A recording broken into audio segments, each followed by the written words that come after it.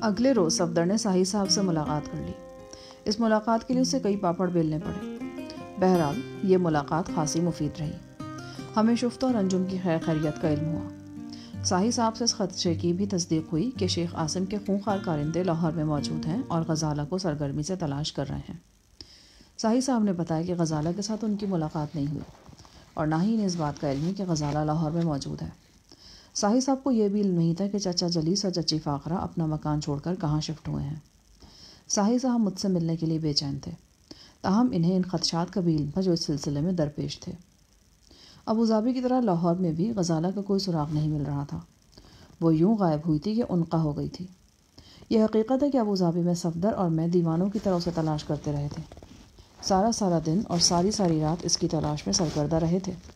شاید اس دیوانہ وار تلاش کا اثر تھا کہ کل لائبریری میں غزالہ کے قد کاٹ اور حلیے والی خاتون دیکھ کر میں چکرا گیا تھا اور اس کا چہرہ دیکھنے کے لیے جھپٹ پڑا تھا۔ میں اور صفدر اسی بارے میں سوچ رہے تھے کہ زری گل بھی کمرے میں آ گیا۔ وہ آج کل گلسوم کا بےحد خیال رکھ رہا تھا۔ اس کی کوشش ہوتی تھی کہ گلسوم کو تنکا دہرا کرنے کی بھی زحمت نہ ہو۔ وہ گھر میں کہیں ادھر ادھر ہوتی تو زری کو مصیبت پڑ جاتی تھی۔ اسے آوازیں دیتا پھرتا تھا۔ ایک روز تو اس نے حدی کر دی۔ گلسوم غسل خانے میں تھی۔ زری نے ہانک لگائی۔ اوے گلسوم، وہ اندر سے بولی جی؟ زری نے کہا، تم اندر ہی ہو نا؟ میں سٹ پٹا کے رہ گیا۔ زری میری طرف آیا۔ جی چاہتا ہے تیرے سر پہ دو جوتے رسید کروں۔ ابے گھامڑ، وہ اندر تھی جبھی تو اس نے جی کہا تھا نا۔ پھر تجھے پوچھنے کی کیا ضرورت تھی کہ اندر ہی ہو؟ وہ ذرا خجل ہو گیا۔ پھر سنبھل کر بولا، وہ بہت بھولی استاد صاحب اس کو کچھ پتہ نہیں ہوتا کہ وہ کیا کہہ رہی ہے، کیا کر رہی ہے۔ اوے چرخے کتنی بھی بھولی تھی، لیکن تھی تو غسل خانے کے اندر ہی نا۔ وہ بس ہم نے یوں ہی پوچھ لیا۔ ہمارا مطلب تھا کہ نہا رہی ہو نا۔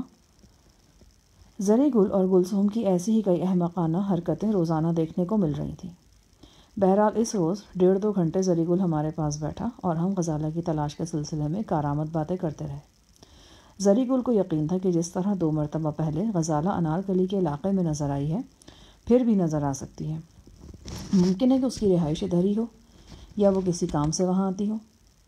زری گل نے پرجوش انداز میں کہا، استاد صاحب ام نے اپنے چچا زاد رستم سے بھی بات کیا ام نے اس سے کہا کہ سواری مواری کو رکشے پہ بٹانے کا خیال چھوڑ دو۔ ام دونوں کل سے انار کلی اور اس کے آس پاس کے علاقے میں گھوما پھرا کرے گا۔ اور آپ اور صفدر صاحب بھی ایسے ہی کر سکتا ہے۔ ام کو پکا پکا یقین ہے کہ جلدی یا تھوڑا دیر سے ام کو اپنے مقصد میں کامیابی ضرور ملے گا۔ اس کے علاوہ ہمارا ایک اور پروگرام بھی ہے۔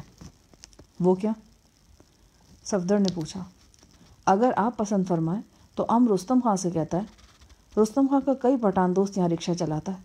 ام ان کو غزالہ بی بی کا اولیا بتاتا ہے اور یہ بھی بتاتا ہے کہ اس خاتون کے ساتھ میں سانولے رنگ کا ایک ایک سوا سال کا بچہ بھی ہوگا۔ آپ کو پتہ ہی ہے یہ رکشہ والا لوگ سارا دن بلی کے مافک گھومتا رہتا ہے۔ ہو سکتا ہے کہ شہر میں کسی نہ کسی کا نظر ہمارا غزالہ بی بی پر پڑ جائے۔ صفدر نے کہا، تمہاری پہلی تجویز تو قابل عمل ہے، لیکن دوسری تجویز میرے خیال میں فی الوقت مناسب نہیں۔ آپ کا کیا خیال ہے شاہ جان صاحب؟ میں بھی تمہارا ہم خیال ہوں۔ پھر میں نے انگلش میں کہا، تجاویز تو دونوں ہی کو زیادہ اچھی نہیں ہے لیکن چونکہ یہ زری گل کی تجویزیں ہیں اور ان کے سوا کوئی چارہ بھی نہیں ہے لہٰذا کچھ نہ کرنے سے کچھ کرتے رہنا بہتر ہے۔ زری گل بہت سٹ پٹایا کہ ہم باتیں کرتے کرتے ایک دم فرنگیوں کی زبان میں کیوں بولنے لگتے ہیں جبکہ ہم جانتے بھی ہیں کہ اسے اس زبان سے چڑھا ہے۔ ہم نے بمشکل اسے ٹھنڈا کیا۔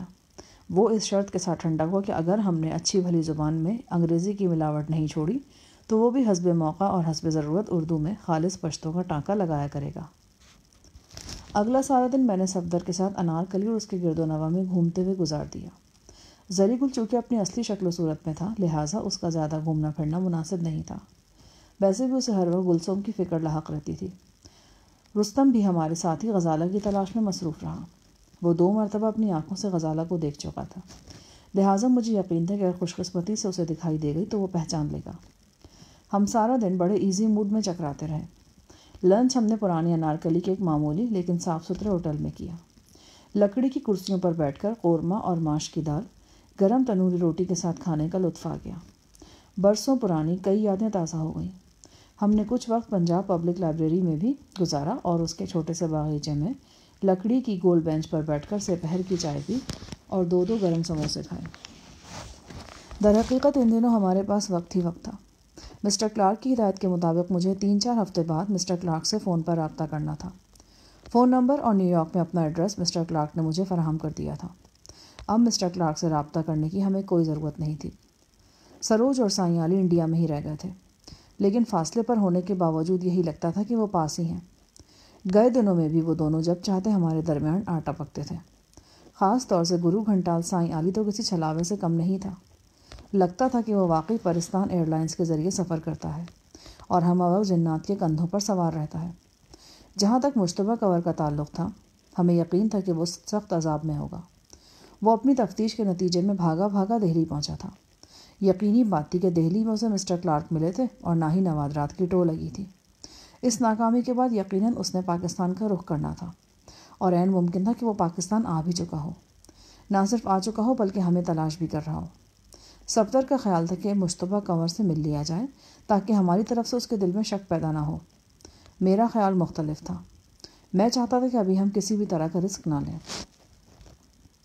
یہ تیسرے دن کا واقعہ ہے۔ میں اور صفدر پرانی انارکلی اور جین مندر کے علاقے درمیانی علاقے میں گھوم رہے تھے۔ یہاں بہت سے ہومیوپیتھک مالج ملتے ہیں۔ اس کے علاوہ شعبہ طب سے تعلق رکھنے والے حضرات کی دکانیں بھی ہیں۔ ایک بغلی سڑک سے گزرتے ہوئے میری نگاہ ایک بورڈ پر پڑی۔ لکھا تھا، بچوں کے ضدی اور لا علاج امراض کا اسپتال۔ دنیا بھر کے ڈاکٹروں سے مایوس ہونے والے مریض یہاں شفا پاتے ہیں۔ میں یہ دیکھ کر حیران ہوا کہ یہاں مریضوں کا رش لگا ہوا تھا۔ کلینک کے علاوہ کلینک سے باہر بھی لوگ بیٹھے تھے۔ سڑک کی ایک جانب کئی گاریں کاریں بھی کھڑی تھیں، جنہیں دیکھ کر اندازہ ہوتا تھا کہ یہاں ہر طبقے کے لوگ آتے ہیں۔ جس چیز نے میری توجہ پوری شدت سے اپنی طرف کھینچی، وہ ایک نئے ماڈل کی ٹویوٹا کار تھی۔ ٹویوٹا کار پر ڈاکٹر کا لیبل لگا ہوا تھا۔ باوردی ڈرائیور کار کے قریب ہی کھڑا تھا۔ بظاہر یہی محسوس ہوا کہ ڈاکٹر صاحب اپنے علاج کے لیے اس نان کوالیفائڈ مالج کے پاس آئے ہیں۔ جس نے ہر مرض کے شافی علاج کی گارنٹی اپنے بورڈ پر درج کر رکھی ہے۔ سفدہ نے ڈرائیور سے بات کی تو ہمارا سو فیصد اندازہ درست نکلا۔ ڈرائیور کی بات نے ہمیں حیران کر دیا۔ اس نے بتایا، میرے صاحب آرتھوپیڈک سرجن ہیں۔ ان کے چار سالہ بچے کو ڈیڑھ دو سال سے دست کی بیماری ہے، جو کسی طور ٹھیک نہیں ہوتی۔ پچھلی سردیوں میں یہ لوگ انگلینڈ تک سے ہو آئے ہیں۔ اب کسی نے بتایا اور یہ لوگ جہلم سے یہاں پہنچے ہیں۔ عجیب بات ہے۔ ایک ڈاکٹر ہو کر تمہارے صاحب دیسی طریقے سے علاج کرانے کے بارے میں سوچ رہے ہیں۔ بات صرف ہمارے صاحب کی نہیں ہے۔ بہت سے ڈاکٹر لوگ شوق سے یہاں چل کر آتے ہیں اور اللہ دیتا صاحب سے علاج کراتے ہیں۔ خاص طور سے بچوں کے علاج میں تو ان کو ماہر سمجھا جاتا ہے۔ اچانک میرے ذہن میں جھماکا سا ہوا۔ ڈرائیور نے بچوں کے علاج کی بات کی تھی۔ اسپتال کے بورڈ پر بھی نمایاں طور پر بچوں کا ذکر تھا۔ یہاں آنے والے زیادہ تر لوگوں کے پاس بھی بچے ہی نظر آ رہے تھے۔ کہیں ایسا تو نہیں تھا؟ کہ غزالہ بھی بچے کو لے کر یہاں کسی ایسی غرض سے آئی ہو۔ اسے یہاں دو مرتبہ دیکھا گیا تھا اور دونوں مرتبہ وہ سڑک کے بالکل پاس ہی نظر آئی تھی۔ پھر اس کے ساتھ بچہ بھی تھا۔ یہ بات بجلی کے کوندے کی طرح میرے ذہن میں لگ کی کہ بچہ جو پچھلے دو ڈھائی ماہ سے بلکہ تین ماہ سے غزالہ کے پاس تھا، کچھ کمزور اور علیل تھا۔ غزالہ نے کئی بار مجھے بتایا تھا کہ اسے بھوک کم لگتی ہے اور کسی وقت حرارت بھی ہو جاتی ہے۔ کہیں ایسا تو نہیں کہ غزالہ بچے کی طویل بیماری سے گھبرا کر اسے یہاں لے آئی ہو۔ یہ بات فوری طور پر دل میں اتر نہیں رہی تھی۔ وہ ایک پڑھی لکھی، نہایت روشن خیال ڈاکٹر تھی۔ وہ اپنی تعلیم اور نظریات کی نفی کر کے ایک عطائی کی طرف کیوں رجوع کر سکتی ہے؟ میں اور صفدر کچھ دیر اس بارے میں تبادلہ خیال کرتے رہے۔ بات سمجھ میں نہیں آنے والی تھی۔ لیکن مایوسی کے عالم میں انسان امید کی مہوم سی کرن کو بھی روشنی کا سیلاب تصور کرنے لگتا ہے۔ اگر غزالت اسپتال کے آس پاس دیکھی گئی تھی اور اس کے ساتھ بیمار بچہ بھی تھا، تو پھر ہمیں اس کلینک کو نظر انداز نہیں کرنا چاہیے تھا۔ اس روز شام تک ہمیں اس کلینک اور یہاں کے ماسٹر مائنڈ اللہ دتا کے بارے میں تمام معلومات حاصل ہو گئیں۔ اللہ دتا کا نام سن کر جو شکل میرے ذہن میں ابھری، وہ کسی بارش، ادھیڑ عمر شخص کی تھی، جس کا حلیہ پیروں فقیروں جیسا ہے اور جس کی باتوں میں عاملوں جیسی پرسراریت تھی۔ لیکن اللہ دتا اس کے بالکل برعکس نکلا۔ وہ درمیانی عمر کا ایک سوٹڈ بوٹڈ شخص تھا۔ داڑھی مجھ صاف تھی۔ بظاہر اس میں کوئی متاثر کن بات نظر نہیں آتی تھی۔ تاہم اس کی گفتگو میں کس پارک سا تھا۔ وہ لب و لہجے کے ذریعے اپنے مخاطب کو مسحور کرنے کی کوشش کرتا تھا۔ صفدر نے اللہ دتہ کو اعتماد میں لینے کے بعد کہا، میری بہن اپنے خاوند سے جھگڑنے کے بعد گھر سے چلی گئی ہے۔ دو تین ہفتوں سے اس کا کچھ پتہ نہیں چل رہا۔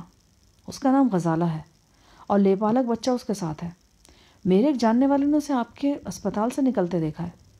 میں اس بات کی تصدیق کرنا چاہتا ہوں کہ کیا وہ واقعی بچے کو علاج کی غرض سے آپ کے پاس لائی تھی۔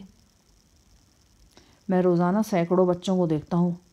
بہرحال آپ بچے اور اس کے والد کا نام بتائیں۔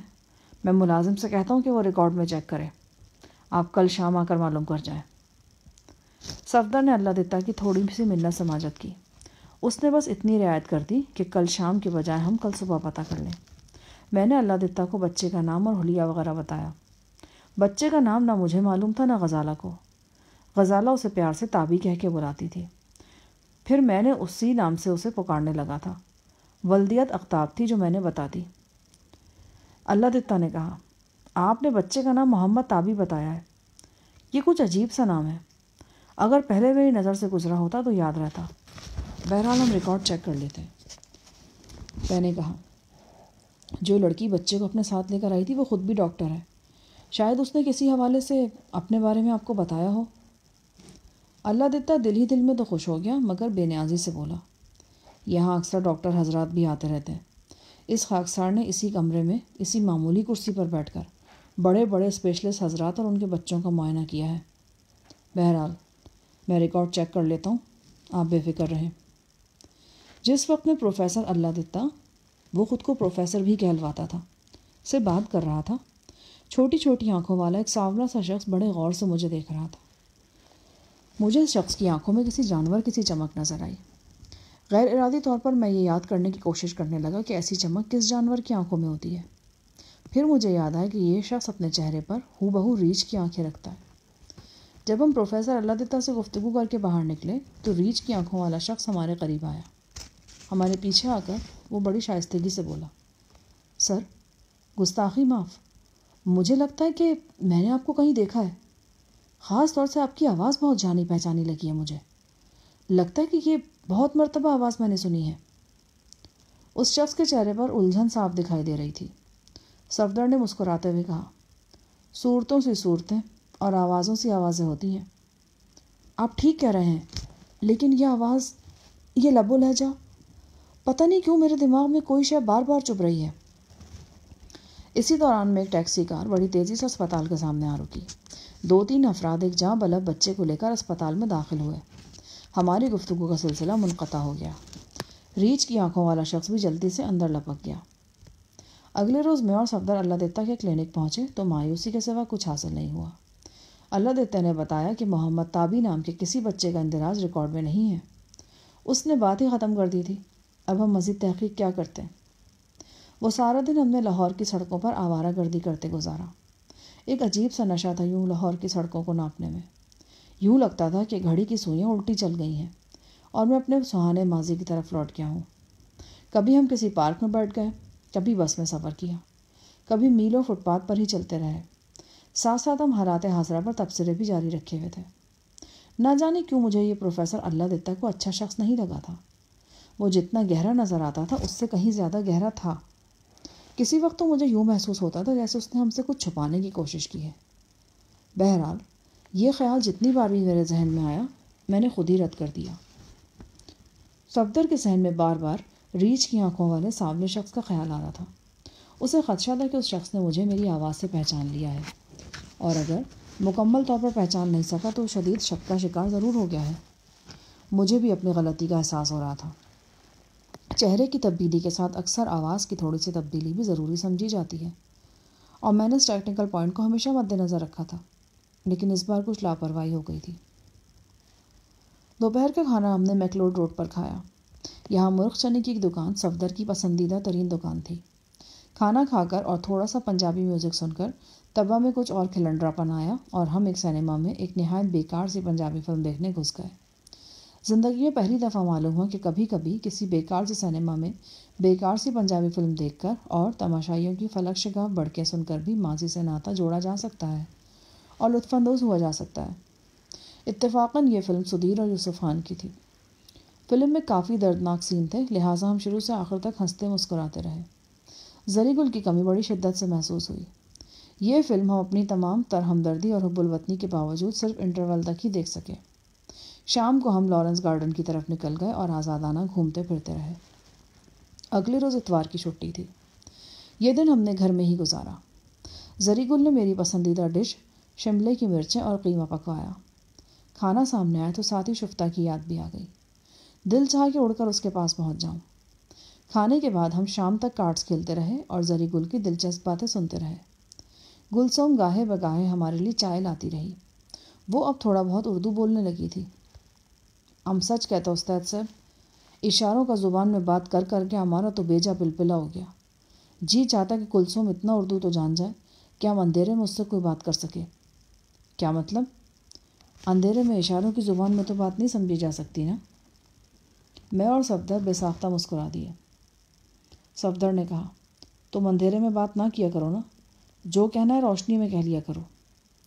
زری کے چہرے پر شرم کی سرخی پھیل گئی۔ وہ فوراً بات بدلتے ہوئے بولا، ویسے ہم آج کل پوری کوشش فرما رہا ہے کہ یہ کچھ نہ کچھ بولنا سیکھ جائے۔ کم از کم اتنا تو ہو جائے نا کہ ہمارے ساتھ بیٹھ کر لالا سدیر اور بدر منیر صاحب کا فلم دیکھ سکے۔ ویسے تم بے وقوفی کر رہے ہو۔ اللہ تعالیٰ نے تم پر اتنا بڑا احسان کیا کہ تم کو بے زبان بیوی دی ہے۔ میرے خیال میں تم اپنے پاؤں پر کلہاڑی مار رہے ہو۔ شاہ جہاں صاحب ٹھیک کہہ رہے ہیں۔ ابھی وہ تمہاری زبان نہیں جانتی، اسی لیے فرمائشیں نہیں کرتی۔ جب اسے بازار میں بکنے والی ہر مہنگی چیز کا نام اور استعمال معلوم ہو جائے گا نا، اس وقت کیا کرو گے؟ اللہ دے گا جی جب وہ گلسوں کو زبان دے گا تو ہم کو پیسہ بھی دے گا۔ جب وہ دیتا ہے تو چھپر پھاڑ کر دیتا ہے۔ کیا پتا کسی وقت میں ہم سب کو وہ دفینہ ہی مل جائے۔ زری گل نے یوں ہی رسمی انداز میں بات کی تھی۔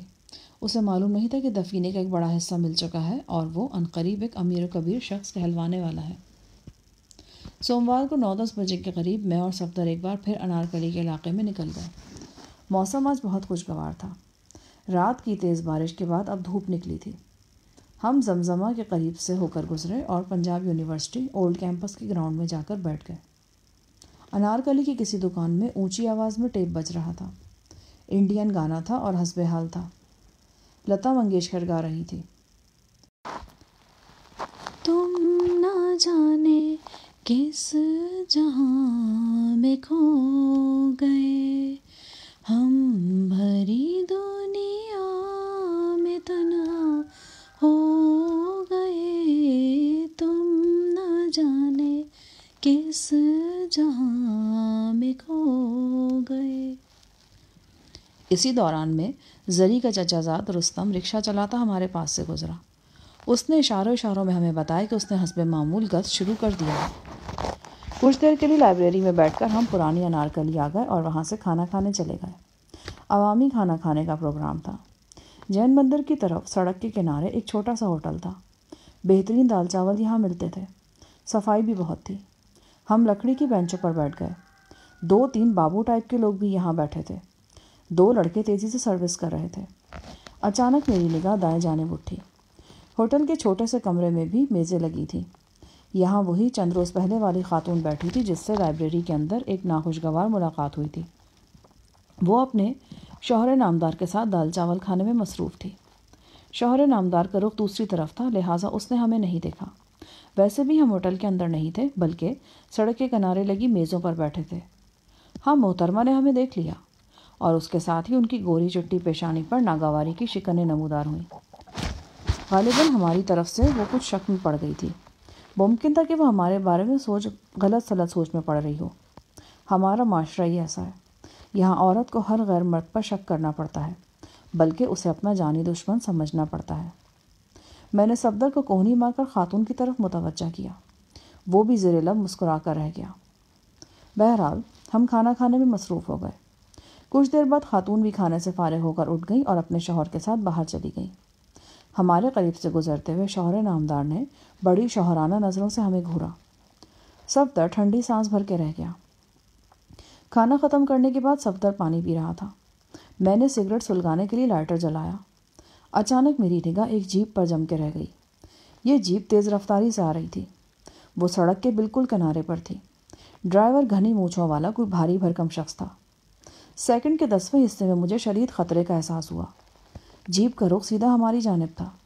قریباً ساٹھ ستر کلو میٹر فی گھنٹہ کی رفتار سے یہ جان لیوا وزن ہماری طرف بڑھ رہا تھا۔ وہ صاف طور پر ہمیں کچلنے کے لیے جا رہی تھی۔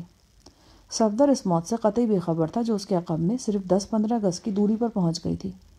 میں نے صفدر کو ایک زوردار دھکا دیا اور اسے اپنے ساتھ لیتا ہوا دکان کے تھڑے کی طرف لڑک گیا۔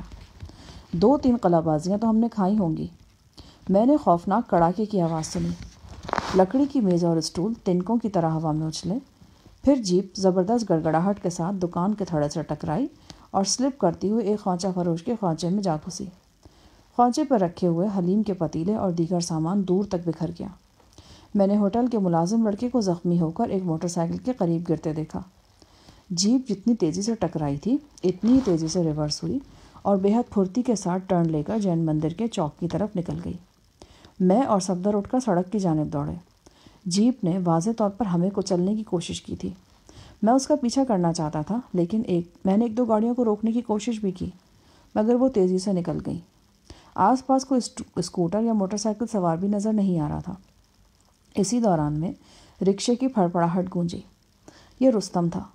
اس نے ہمیں چلا کر دعوت دی کہ ہم اس کے رکشے میں آ جائیں تاکہ جیپ کا تعقب کیا جا سکے۔ میں جانتا تھا کہ یہ تعقب لا حاصل رہے گا۔ ادھیڑ عمر رکشے پر بیٹھ کر پجارو جیپ کا تعقب کرنا تو ایسے ہی تھا جیسے سائیکل پر سوار ہو کر جنگل میں چیتے کا پیچھا کیا جائے۔ ہم دل محسوس کر کے رہ گئے۔ حادثے کا سن کر پرانی انارکلی کے چوک سے ٹریفک پولیس والے بوکھلائے میں پہنچ گئے۔ یہ دونوں سب انسپیکٹر صاحبان تھے جو ایک موٹر سائیکل پر بیٹھ کر تشریف لائے تھے۔ اس حادثے میں افراتفری تو بہت مچی اور مالی نقصان بھی ہوا تھا۔ تاہم خوش قسمتی سے جانی نقصان کی نوبت نہیں آئی تھی۔ یہ خوش قسمتی ہی تو تھی کہ جیپ کی الغار کے وقت ہمارے قریب دال چاول کا کوئی اور شوقین موجود نہیں تھا، ورنہ یہ لنچ یقیناً اس کی زندگی کا آخری لنچ ہوتا۔ صرف ہوٹل کا ایک ملازم لڑکا تھوڑا سا زخمی ہوا تھا۔ سب لوگ ہمارے ارد گرد جمع تھے اور جان بچ جانے پر ہمیں خیر خیرات کی تلقین کر رہے تھے۔ بہت سے لوگ جیپ سواروں کو سلواتیں سنا رہے تھے۔ زیادہ تر لوگوں کا خیال تھا کہ جیپ سوار نشے میں تھے اور تیز رفتاری کے سبب گاڑی پر قابو نہیں پا سکے۔ ٹریفک پولیس والے ہر کسی سے پوچھ رہے تھے کہ کسی نے جیپ کا نمبر نوٹ کیا۔ حسب توقع سوال کا جواب انکار میں مل رہا تھا۔ اسی اسنا میں موبائل پولیس کی گاڑی بھی وہاں پہنچ گئی۔ فربا اندام انسپیکٹر ہم دونوں سے مختلف سوالات کرتا رہا۔ اس کے ذہن میں کہیں یہ خیال پیدا ہوا تھا کہ شاید ہم دشمندار لوگ ہیں اور کسی بدخواہ نے ہمیں کچلنے کی کوشش کی ہے۔ صفدر نے اسے بتایا کہ ہماری سات پشتوں میں سے کسی نے دشمنی نہیں پالی۔ ہم تو نہایت ہی بھلے مانس خاندانوں کے بھلے مانس ترین لوگ ہیں، بلکہ ہمیں تو دشمنی کے ہجے تک معلوم نہیں۔ انسپیکٹر نے صفدر کی باتوں پر یقین کر لیا۔ کیونکہ سچی باتوں کو جھوٹلانا اور جھوٹی پر یقین کرنا پولیس کا ہمیشہ سے درہ امتیاز رہا ہے۔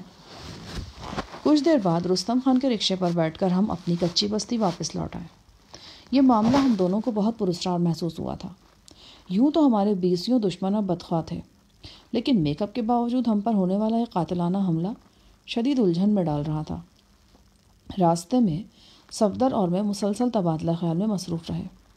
صفدر کی کشادہ پیشانی پر سوچ کی گہری پرچھائیاں تھیں۔ شاہ جہاں صاحب، میں کل بھی آپ سے کہنے والا تھا، لیکن پھر کہتے کہتے رک گیا تھا۔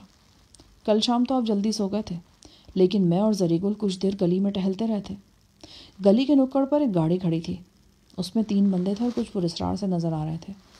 میں اور زری پاس سے گزرے تو وہ ہمیں گھورنے لگے۔ کچھ دیر بعد یہ لوگ چلے گئے، لیکن رات گیارہ بجے کے قریب پھر آ گئے۔ اس مرتبہ انہوں نے گاڑی رستم خان کے دروازے کے بالکل سامنے کھڑی کی تھی۔ گلی میں ہر آنے جانے والے کو وہ بری طرح گھور رہے تھے۔ مجھے یقین ہے کہ ان کے پاس اسلحہ بھی تھا۔ زری گل تاؤ کھا رہا تھا۔ وہ چاہ رہا تھا کہ ان لوگوں سے جا کر پوچھے کہ وہ وہاں کیوں کھڑے ہیں۔ مگر اس دوران وہ لوگ چلے گئے۔ میں نے کہا، میرے ذہن میں رہ رہ کر اس بندے کی طرف خیال جا رہا ہے۔ جس نے ہمیں اللہ دتا کے کلینک میں دیکھا تھا۔ مجھے تو اسی وقت دال میں کالا نظر آیا تھا جی۔ میرا دل گواہی دے رہا ہے کہ وہ بندہ نہ صرف بہت خطرناک ہے بلکہ آپ کو پہچان بھی چکا ہے۔ ہو سکتا ہے کہ کوئی پرانا بدخواہ ہو آپ کا۔ لب سڑک پیش آنے والے سنگین واقعے نے رات مجھے دیر تک جاگنے اور سوچنے پر مجبور کر دیا۔ ایسے ہی حالات میں زندگی کی بے ثباتی کا احساس بے حد شدت سے ہونے لگتا تھا۔ میرے چاروں طرف جانی دشمن موجود تھے۔ کسی بھی وقت کوئی اندھی گولی میری طرف روانہ ہو سکتی تھی۔ اور اندھی گولی کیا کہ مہارت، طاقت اور تجربے کی کیا حیثیت ہوتی ہے؟ صبح میں اور صفدر دیر تک سر جوڑے بیٹھے رہے۔ کل کے واقعے نے ثابت کر دیا تھا کہ میک اپ کے باوجود ہماری اصلیت اب راز نہیں رہی۔ اگر ایسا نہیں تھا تو پھر ہم پر حملے کا کوئی جواز ہی نہیں تھا۔ اب سوچنے کی بات یہ تھی کہ ہم خود کو لاہور میں روپوش کیسے رکھیں۔ دوسرا میک اپ کرنا کوئی اتنا آسان کام نہیں تھا۔ نہ ہی ہمارے پاس وہ لوازمات موجود تھے کہ ہم اس بارے میں کچھ سوچ سکتے۔ صفدر کو یقین تھا کہ جن لوگوں نے کل ہم پر حملہ کیا ہے، وہ ہمارے اس ٹھکانے سے آگاہ ہو چکے ہیں۔ اور اس وقت بھی ہمارے آس پاس کہیں موجود ہیں۔ میرے ذہن میں ایک نیا خیال آیا۔ چلو اٹھو صفدر، ہم چلتے ہیں۔ کہاں؟ کہیں بھی۔ کم از کم یہ تو پتہ چلے کہ ہمارا تعقب ہو رہا ہے یا نہیں۔ اور اگر ہو رہا ہے تو ایک کار خیر کون کر رہا ہے؟ تھوڑی دیر بعد میں اور صفدر کپڑے بدل کر گھر سے باہر آ گئے۔ کچی پکی گلیوں سے گزر کر ہم بڑی سڑک پر پہنچے۔ جلدی ہمیں اندازہ ہو گیا کہ موٹر سائیکل پر سوار دو افراد ہمارے پیچھے آ رہے ہیں۔ سڑک پر آ کر ہم ایک ویگن میں سوار ہوئے اور جین مندر کی طرف روانہ ہو گئے۔ موٹر بائک مسلسل ہمارے تعقب میں رہی۔ اس پر سوار دونوں افراد صورتوں سے گنڈے دکھائی دیتے تھے، تاہم ہمارے لیے وہ بالکل اجنبی تھے۔ جس وقت ہم بی او چوک جی پی او چوک کے قریب سے گزر رہے تھے موٹر سائیکل اچانک غائب ہو گئی۔ یوں لگا کہ کسی اور طرف مڑ گئی ہے۔ چند لمحوں کے لیے میں تجزب کا شکار ہوا کہ کہیں ہمیں تعقب کا صرف وہم تو نہیں ہوا، مگر جلدی غلط فہمی دور ہو گئی۔ اب ایک سزوکی لوڈر مسلسل ہمارے پیچھے آ رہی تھی۔ اس قسم کے تعقب کو بعض لوگ ریلے چیز کہتے ہیں۔ ریلے چیز کہتے ہیں، ایک ہی گاڑی کے کسی تعقب میں، ایک ہی گاڑی کسی کے تعقب میں رہے تو وہ نگاہ میں آ جاتی ہے۔ لہٰذا اس قسم کے تعقب میں پیچھا کرنے والی گاڑیاں بدلتی رہتی ہیں اور اس وقت بھی یہی ہوا تھا۔ میں اور صفدر جین مندر کے اسٹاپ پہ اتر گئے اور پیدل ہی پرانی انارکلی کی طرف روانہ ہو گئے۔ ہمارا تعقب منظم طریقے سے جاری تھا۔ سزوکی لوڈر کہیں پیچھے کھڑی ہو گئی تھی اور اس میں سے اترنے والے دو افراد کافی فاصلے پر رہ کر ہمارا پیچھا کر رہے تھے۔ میں اور صفدر دونوں مسلح تھے۔ ہمارا ارادہ تھا کہ کسی ویران جگہ پر تعقب کرنے والوں کو گھیرا جائے اور انہیں پکڑ لیا جائے۔ لیکن اس کارروائی کے لیے بڑے صبر کی ضرورت تھی۔ ہمیں مناسب جگہ، مناسب موقع اور مناسب ماحول درکار تھا۔ بہر طور، مناسب صورت حال کی تلاش میں ہم زیادہ دیر آوارہ گردی بھی نہیں کر سکتے تھے۔ یہ بات تو ہم دیکھ ہی چکے تھے کہ ہمارا پیچھا کرنے والے ہمیں جسمانی طور پر ختم کرنے کے خواہش مند ہیں۔ ایسے میں یہ عین ممکن تھا کہ ان کے ساتھی کہیں بھی گھات لگائے بیٹھے ہوں اور اچانک ہم پر فائر کھول دیں۔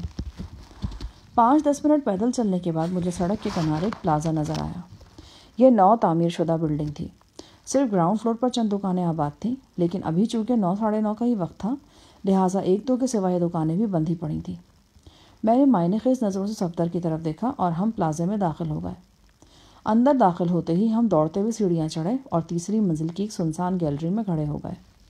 اس نیم تاریخ گیلری میں ہمیں دیکھا نہیں جا سکتا تھا، لیکن ہم نیچے دیکھ سکتے تھے۔ پانچ دس منٹ اسی طرح گزر گئے۔ یقیناً ہمارا تعقب کرنے والے اس انتظار میں تھے کہ ہم پلازے میں سے نکلیں۔ جب ہم نہیں نکلے تو انہیں فکر لاحق ہوئی۔ انہیں خدشہ پیدا ہوا ہوگا کہ ہم دوسرے راستے سے تو نہیں نکل گئے۔ وہ پلازا کے اندر چلے آئے۔ کچھ دیر تک ادھر ادھر تانک جھانک کرتے رہے، پھر دوڑتے ہوئے دوسرے منزل پر آئے۔ وہ واضح طور پر بوکھلائے ہوئے تھے۔ ان دونوں کی پتلونوں کی جیبیں بھاری تھیں۔ صاف پتہ چل رہا تھا کہ وہ مسلح ہیں۔ صفدر کے چہرے پر شکاریوں کی سی دلچسپی نظر آ رہی تھی۔ کافی دن سے اسے ہاتھ صاف کرنے کا موقع نہیں ملا تھا۔ جو ہی دونوں مسلح افراد تیسری منزل کی طرف آئے، ہم چوکس ہو گئے۔ وہ قدم بقدم ہماری طرف بڑھ رہے تھے اور اس عمر سے بے خبر تھے کہ ان پر کیا گزرنے والی ہے۔ مگر پھر ایک بالکل غیر متوقع بات ہوئی۔ پتہ نہیں کیسے ان دونوں میں سے ایک شخص کی اوقابی نظر گیلری پر پڑ گئی۔ ہماری موجودگی کا احساس ہوتے اس شخص نے جیب سے ریوالور نکالا۔ پہلے تو یوں لگا کہ وہ ہم پر فائر کر دے گا۔ مگر پھر بوکلاہٹ میں وہ واپس پلٹا اور اپنے ساتھی سمیت بھاگ کھڑا ہوا۔ رک جاؤ۔ میں اور صفدر چل، ان کے پیچھے نکل کر بھاگے اور میں نے چلا کر کہا۔ اس شخص نے گھوم کر اندھا دھند دو فائر کر دیے۔ پلازا کی خالی بلڈنگ فائرنگ کی آواز سے گونج اٹھی۔ میں نے بھاگتے بھاگتے ایک شخص کی ٹانگ پر فائر کرنا چاہا، لیکن نشانہ خطا گیا۔ آگے پیچھے دوڑتے ہم پلازا کی بلڈنگ سے باہر نکل آئے۔ یہاں فائر کرنا خطرناک تھا کیونکہ راہگیر بھی موجود تھے۔ مارکیٹ کی طرف بس اسٹاپ پر درجنوں افراد کھڑے تھے۔ ہم دونوں کسی صورت فائر نہیں کر سکتے تھے، ورنہ اس موقع پر ان دونوں کو یا ان میں سے کسی ایک کو ڈھیر کرنا آسان تھا۔ اس اسنا میں وہی سرخ سزوکی لوڈر نظر آئی جس نے ہمارا پیچھا کیا تھا۔ دونوں افراد بوکلاہٹ کے عالم میں سزوکی میں گھس گئے۔ وہ ایک جھٹکے سے آگے بڑھ گئی۔ میں نے ادھر ادھر نگاہ دوڑائی۔ ہم دونوں کو ایک چھوٹی سی برلینا کار نظر آئی۔ ہم دونوں بھاگتے ہوئے کار تک پہنچے۔ ڈرائیونگ سیٹ خالی تھی۔ ساتھ والی نشست پر ایک خاتون موجود تھی۔ میں نے دیکھا اگنیشن میں چابی جھول رہی تھی۔ میں نے تیزی سے ڈرائیونگ سیٹ سنبھالی۔ خاتون نے پہلے چیخ ماری اور پھر دوسری چیخ مارنے کے لیے منہ کھولا، لیکن اس سے پہلے صفدر نے ریوالور اس کی پیشانی سے لگا دیا۔ وہ ایک دم خاموش ہو گئی۔ خاتون کو دیکھ کر میں چونکا۔ یہ زبردست اتفاق تھا کہ یہ وہی خاتون تھی جن کے ساتھ انہی گلیوں میں دو دفعہ پہلے ملاقات ہو چکی تھی۔ اس حسین و سنگین اتفاق پر غور کرنے کا وقت نہیں تھا۔ کیونکہ سزوکی لوڈر لمحہ و لمحہ ہم سے دور ہو رہی تھی۔ میں نے برلینا کا انجن اسٹارٹ کیا اور چند لمحوں میں اس کی رفتار چالیس پچاس تک پہنچا دی۔ خاتون تھر تھر کانپ رہی تھی اور ہاتھ جوڑ رہی تھی۔ اس کے منہ سے آواز نہیں نکل پا رہی تھی۔ یقیناً پہلی دو ملاقاتوں میں اس کے ذہن میں جو وسوسے پیدا ہوئے تھے، وہ پختہ یقین میں بدل چکے تھے۔ وہ یہ سمجھنے پر مجبور ہو گئی تھی کہ ہم دونوں ہاتھ دھو کر اس کے پیچھے پڑے ہوئے ہیں اور اب اسے اغوا کرنے کے بعد اس کا حشر نشر کر دینا چاہتے ہیں۔ وہ گھگیائی ہوئی آواز میں بولی۔ دیکھو، اگر اس وقت میں نے غصے میں کوئی سخت بات کہہ دی تھی، تو پلیز مجھے معاف کر دو۔ پلیز میرے ساتھ ایسا مت کرو۔ صفدر بھی جھنجھلائے ہوئے موڈ میں تھا۔ ایسا تو ہوگا اور ضرور ہوگا۔ اب اگر تم نے چیخے شیخے ماری نا، تو پھر اس گاڑی میں ہی ملک الموت دبوچ لے گا تمہیں۔ نہیں نہیں، میں چیخے نہیں ماروں گی۔ میں آواز تک نہیں نکالوں گی۔ بے شک تم گاڑی بھی لے جاؤ۔ یہ انگوٹھی ہے میری، یہ لے لو۔ یہ جھمکے بھی لے لو۔ میں کچھ نہیں کہوں گی۔ یہ سب چیزیں تم نہ بھی دو تو پھر بھی ہماری ہیں۔ ہمیں تمہاری ضرورت ہے۔ ہم پورے ایک سال سے تمہارے پیچھے پڑے ہوئے تھے۔ ہر جگہ تمہارا تعقب کر رہے تھے۔ صفدر نے آواز کو خوفناک بناتے ہوئے کہا۔ خاتون کی باقاعدہ کھکی بن گئی۔ اس کا سارا غسیلہ پن اس کی تھر تھراہٹ میں کہیں گم ہو گیا۔ یار، کیوں خواہ مخواہ میں ڈرا رہے ہو اسے؟ کہیں کو مصیبت نہ کھڑی کر دینا۔ جناب، یہ آپ کا شعبہ نہیں۔ آپ سزوکی کو پکڑیں۔ ابھی بمشکل صفدر کا فقرہ مکمل ہی ہوا تھا کہ آگے جاتی ہوئی سزوکی کار سے اوپر تلے دو فائر ہوئے۔ یقیناً کار کے ٹائروں کو نشانہ بنانے کی کوشش کی گئی تھی۔ دھماکوں کی آواز نے خاتون کو بری طرح چیخنے پہ مجبور کر دیا۔ اب بتاؤ، کون سا شعبہ لینا ہے؟ ہاں واقعی، شعبہ تو بدلنا پڑے گا۔ دھمکیالوجی کے شعبے سے فائرولوجی کے شعبے میں آنا پڑے گا۔ اس نے ریوالور کھڑکی سے نکالا۔ میں جانتا تھا کہ وہ کمال کا نشانے پاس ہے۔ اس نے اپنی روایت قائم رکھی۔ صرف دو گولیوں میں اس نے برق رفتاری سے دوڑتی سزوکی لوڈر کا ایک پچھلا ٹائر برسٹ کر دیا۔ سزوکی لکشمی چوک کے قریب پہنچ چکی تھی۔ ٹائر بیٹھا تو وہ بری طرح لہرائی۔ ایک اسکوٹر سوار کو اٹھاتی ہوئی جگلے سے ٹکرائی اور کچھ دیر لڑکھڑانے کے بعد رک گئی۔ سزوکی میں سوار تین افراد نے سزوکی رکنے سے پہلے ہی چھلانگیں لگا دیں اور رائل پارک کی طرف بھاگ نکلے۔ یہ کافی گنجان علاقہ تھا اور گلیوں کا جال سا بچھا ہوا تھا۔ میں اور صفدر بھی کار سے نکلے اور خاتون کو حیران پریشان چھوڑ کر سزوکی کی سزوکی سواروں کے پیچھے لپک گئے۔ رائل پارک میں ہر طرح فلمی دفاتر کے بورڈ لگے تھے۔ بڑے بڑے ہورڈنگس پر پینٹنگز ہو رہی تھیں۔ ہر طرف گہما گہمی نظر آتی تھی۔ میں اور صفدر چند منٹ تک ان گلیوں میں چکراتے رہے، پھر بیڈن روڈ کی طرف نکل گئے۔ سزوکی لوڈر اور کار کی طرف واپس جانا خطرناک تھا۔ یقینی بات تھی کہ وہاں لوگوں کا ہجوم ہوگا اور این ممکن تھا کہ پولیس بھی پہنچ گئی ہو۔ مال روڈ کے ایک پی سی او سے میں نے ساہی صاحب سے رابطہ کیا۔ میں نے انہیں بتایا کہ لکشمی چوک کے قریب ایک سزوکی لوڈر کھڑی ہے۔ اس میں سے کچھ افراد نے ہم پر فائرنگ کی تھی اور بھاگ کھڑے ہوئے ہیں۔ میں جاننا چاہتا ہوں کہ وہ لوڈر کس کا ہے اور اس میں کون سوار تھے۔ ساہی صاحب نے مجھ سے کہا کہ میں ڈیڑھ دو گھنٹے بعد دوبارہ رابطہ کروں، وہ ساری معلومات فراہم کر دیں گے۔ میرا دل گواہی دے رہا تھا کہ لاہور آتے ہی ہمارے ساتھ کوئی چکر چل گیا ہے۔ اور یہ چکر صرف اس لیے چلا ہے کہ ہم غزالہ کی تلاش میں پروفیسر اللہ دتا کے کلینک پر گئے تھے۔ ایسا کیوں ہوا؟ کوشش کے باوجود یہ بات سمجھ میں نہیں آ رہی تھی۔ اگر ریچھ کی آنکھوں والے شخص نے کلینک میں مجھے پہچان بھی لیا تھا، تو اسے کیا شدید خطرہ لاحق ہوا تھا کہ وہ ایک دم میری جان کے در پہ ہو گیا تھا؟ کیا کسی حوالے سے واقعات کا تعلق غزالہ سے تھا؟ یا یہ کوئی اور معاملہ تھا؟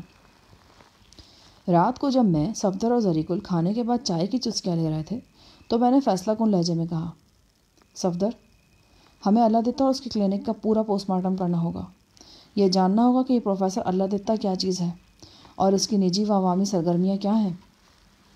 زری گل بولا، تھوڑا بہت معلومات تو رستم خان نے اکٹھا کیا ہے۔ یہ اللہ دیتا ہر دل عزیز قسم کا بندہ ہے۔ ہر طبقے کا لوگ بہت جلدی اسے پسند کرنے لگتا ہے۔ سنا ہے کہ اس کا ہاتھ میں بہت شفا ہے اور لالچ نام کو نہیں، وہ غریب مریضوں کو مفت دوا دیتا ہے۔ بلکہ کئی مریضوں کا اپنے پاس سے بھی مدد کر دیتا ہے۔ خوچ اس کے علاوہ وہ ریکروٹنگ کا کام بھی کرتا ہے۔ ہم کو معلوم ہے کہ وہ لوگوں کو باہر بھیجتا ہے اور ایمانداری سے بیچتا ہے۔ اس کا بے جوا عورتوں اور مرد باہر کے ملک میں کافی پیسہ کما رہا ہے۔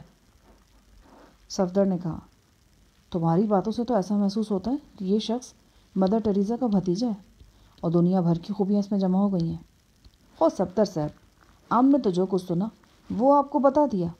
آگے کھوج لگانا آپ کا کام ہے۔ ٹھیک ہے، آج ہی کھوج لگاتے ہیں۔ صفدر نے فیصلہ کن لہجے میں کہا۔ رستم خان نے گفتگو میں حصہ لیتے ہوئے کہا، ہمارے خیال میں ریکروٹنگ کا کام اللہ دیتا صاحب خود نہیں کرتا۔ یہ کام ان کا چھوٹا بھائی کرتا ہے۔ اس کا نام ارشاد احمد ہے۔ وہ یہاں مسلم ٹاؤن میں رہتا ہے۔ ہم اس کے ڈرائیور کو اچھی طرح جانتا ہے۔ اس کا ڈرائیور بتاتا ہے کہ ارشاد احمد کچھ زیادہ اچھا آدمی نہیں ہے۔ ایک سال پہلے اس کا بیوی روٹ کر چلا گیا تھا اور وہ اپنے بچوں کو بھی ساتھ لے گئی تھی۔ وہ نشہ وغیرہ بھی کرتا ہے۔ یہ بات بہرحال سچ ہے کہ اس نے کافی زیادہ لوگوں کو ایمانداری سے باہر بھجوایا ہے۔ کیوں نہ پہلے اسی شخص کو دیکھ لیا جائے۔ امریکہ کے دیوانے بن کر چلتے ہیں اس کے پاس۔ امریکہ کے دیوانے؟ کیا مطلب؟ بھائی یہی کہتا ہے نا کہ امریکہ کا ویزا چاہیے۔ وہاں جا کر محنت کرنا چاہتے ہیں۔ ڈالر کمانا چاہتے ہیں۔ کچھ دیر تبادلہ خیال کرنے کے بعد ہم نے پروگرام طے کر لیا۔ شام سات بجے کے بعد میں اور صفدر مسلم ٹاؤن اس کی کوٹھی کے سامنے کھڑے تھے، جس کے گیٹ پر ارشاد احمد کی نیم پلیٹ لگی تھی۔ ہماری معلومات کے مطابق ارشاد کے ساتھ صرف اس کی بیمار والدہ رہتی تھی۔ اس کے علاوہ ایک دو ملازم تھے۔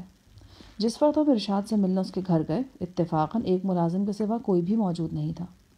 یہ ملازم بھی زبردست قسم کا چرسی دکھائی دیتا تھا۔ اس نے ہمیں دیکھتے ہی نفی میں سر ہلانا شروع کر دیا۔ نہیں بھائی، آج گھر میں کوئی نہیں ہے۔ سب شادی پہ گیا ہوا ہے۔ وہ وہاں مرغ پلاؤ کھائے گا اور ہم یہاں ویگن آلو زہر مار کریں گے۔ وہ بارہ بجے آئیں گے۔ اس وقت ہم سو رہے ہوں گے۔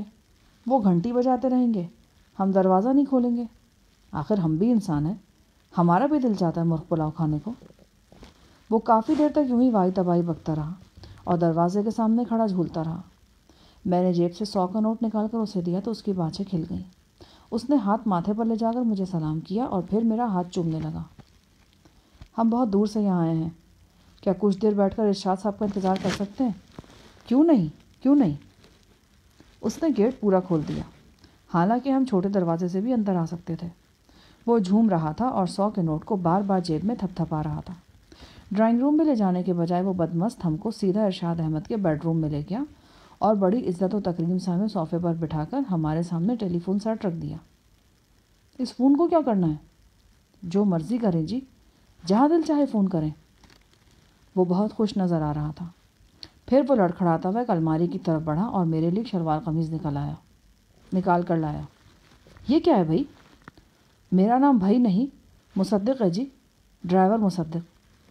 اچھا مصدق ہی صحیح، لیکن اس شلوار قمیض کا میں کیا کروں؟ آپ نے پتلون قمیض بدل رکھی ہے نا؟ کپڑے پہن کر، دوسرے پہن کر ایزی ہو جائیں اور آرام سے بیٹھیں۔ لیکن بندہ خدا یہ تو ارشاد صاحب کے کپڑے ہیں۔ وہ ترنگ میں بولا، ارشاد صاحب کو کیا سرخاب کے پر لگے ہوئے؟ میرے لیے تو وہی ارشاد صاحب ہیں جو میرے لیے اچھا ہے۔ اس وقت آپ ہی میرے لیے ارشاد صاحب ہیں اور میں آپ کا ڈرائیور مصدق ہوں۔ اس نے ایک بار پھر میرے ہاتھوں کو بوسا دیا۔ تب لڑکھڑاتا ہوا الماری کی طرف گیا اور وہاں سے ایک لائٹر اور سگریٹ کیس لے آیا۔ اس کے بعد شام کا اخبار اور اینک لے آیا۔ اس کے بعد فریج سے ٹھنڈی اوولٹین کا گلاس لے آیا۔ صفدر اور میں زیر لب مسکرائے بغیر نہیں رہ سکے۔ ہم سب جانتے تھے کہ یہ اشیاء ارشاد احمد کی ملکیت ہے، مگر وہ مجھے ہی ارشاد احمد بنانے پر تلا ہوا تھا۔ کیونکہ میں نے اس کی جیب کے سو کے نوٹ سے گرم کیا تھا اور آلو بیگن کے بارے میں اس کے تمام دکھی خیالات کو تحمل سے سنا تھا۔ اسی دوران ایک اور نومر ملازم بھی اندر اندر جھانکنے لگا۔ وہ قدر متحیر نظر آیا، لیکن وہ ڈرا ڈرا سا لڑکا تھا اور اسے مصدق کے سامنے کچھ بولنے کی ہمت نہیں ہوئی۔ بیڈ روم میں ارشاد کی تصویر بھی لگی تھی۔ اس کی عمر تیس پینتیس سال سے زائد نہیں تھی۔ کم از کم تصویر میں تو یہی عمر نظر آ رہی تھی۔ اپنے بڑے بھائی کی طرح وہ بھی کلین شیف تھا۔ دونوں بھائیوں کی صورت بھی کافی ملتی تھی۔ مصدق سے دس پندرہ منٹ کی گفتگو کے بعد ہمیں پتہ چل گیا کہ گھر میں ان دو ملازموں اور ارشاد کی بوڑھی ماں کے سوا اور یہاں کوئی نہیں۔ بوڑھی والدہ کا نہ ہونا ہونا نہ ہونا بھی برابر تھا۔ وہ کوٹھی کی بالائی منزل پر نیند کی دوا کھا کر سوئی ہوئی تھی۔ ویسے بھی وہ بالائی منزل تک محدود تھی۔ سیڑھیاں اترنا اس کے لیے ممکن نہیں تھا۔ ہمارے لیے اچھا موقع تھا کہ ارشاد کے گھر میں گھوم پھر کر اس کے رہن سہن اور طور اتوار کا جائزہ لے سکیں۔ لیکن ابھی ہمیں بیٹھے ہوئے دس پندرہ منٹ ہی ہوئے تھے کہ کال بیل بج اٹھی۔ ہم چونک گئے۔ ایک اندیشہ یہ تھا کہ کہیں ارشاد احمد واپس نہ ہو گیا ہو۔ لیکن مصدق نے بتایا تھا کہ وہ شادی پر گیا ہے اور اس کی واپسی جلدی ممکن نہیں۔ آنے والا ارشاد نہیں بلکہ ایک کوری چٹی جواں سال لڑکی تھی۔ وہ کچھ سہمی سہمی سے اندر داخل ہوئی۔ چرسی مصدق اسے سیدھا ہمارے پاس بیڈ روم میں ہی لے آیا۔ لڑکی نے ماتھے پر ہاتھ لے جا کر ہمیں سلام کیا۔ مصدق میری طرف اشارہ کر کے بولا، یہ ہے ارشاد احمد صاحب۔ ان سے زیادہ ارشاد احمد اور کون ہوگا؟ یہ سر سے پیر تک ارشاد احمد ہے۔ ایسا کہتے ہوئے اس نے ایک بار پھر اپنی جیب تھپ تھپائی اور نہال نظر آنے لگا۔ میرا نام راجی ہے جی۔ فوزی آنٹی نے پرسوں آپ سے میرا ذکر کیا ہوگا نا؟ وہ باہر جانے کے بارے میں؟ ہاں ہاں پرسوں بات کی تھی فوزیہ نے۔ یاد آ گیا مجھے۔ لڑکی چند لمحے ساکت کھڑی رہی، پھر مدھم آواز میں بولی، بس مہربانی کر دیں جی میں اور میرے گھر والے ساری زندگی آپ کے آسان بند رہیں گے۔ بیٹھ جاؤ۔